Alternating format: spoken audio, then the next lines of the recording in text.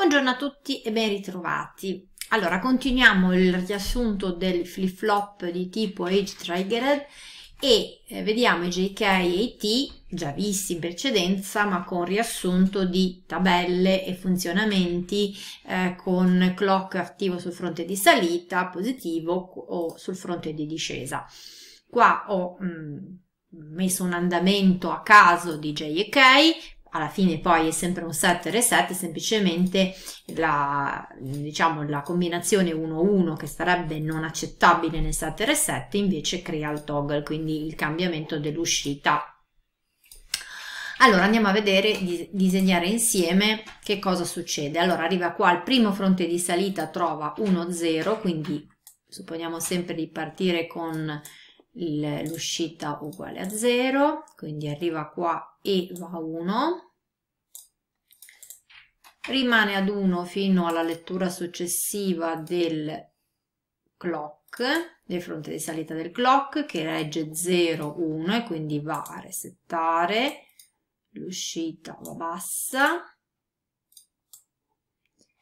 qua mi legge un 1 0 quindi reset, resetta di nuovo non resetta risetta quindi setta e va alto. E qua legge un 1 1 quindi fa il toggle da alto va basso.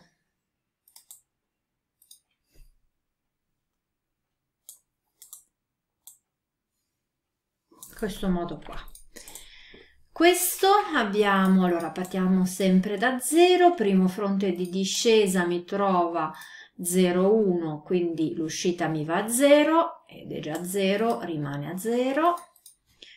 Qua mi trova 1, 1, fa il toggle, quindi è 0, diventa 1. Qui mi trova 0, 1, quindi va a resettare, mi va basso e questa poi mi trova 1 0 e quindi poi si setta alto.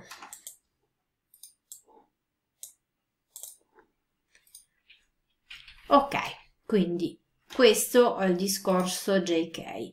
Per quanto riguarda il discorso del T, già visto ampiamente, semplicemente eh, vengono tolti, siccome poi il T viene ottenuto, si può ottenere mettendo il J e K cortocircuitati insieme, praticamente la stessa cosa togliendo seconda e terza riga, quindi abbiamo, se, abbiamo la memoria, quando t uguale a 0 e trova il, il, fronte di salita del clock e il toggle quando t uguale a 1 e trova il fronte di salita del clock, in questo caso fronte di discesa.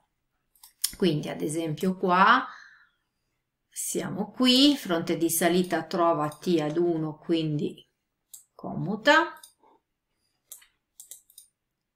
Poi questo trova a 1, quindi ricomuta e va giù qua. Questo fronte di salita mi trova 1 quindi va di nuovo cambia e quindi sale. Questo fronte di salita mi trova 0 e quindi memoria rimane alto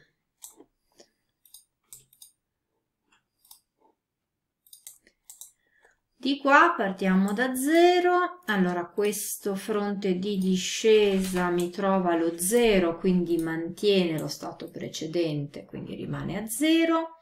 Qua mi trova l'1, quindi fa il toggle e mi va alto.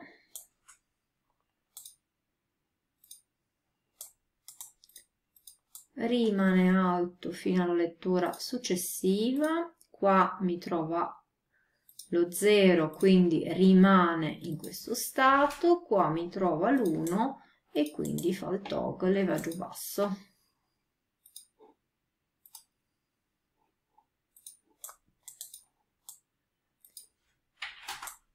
Bene, direi con questi riassunti di essere stata, spero, piuttosto esaustiva perché insomma ho fatto tutte le combinazioni così credo non ci siano più dubbi su come eh, lavorano vari, le varie tipologie sia sul discorso fronte di salita che fronte di discesa.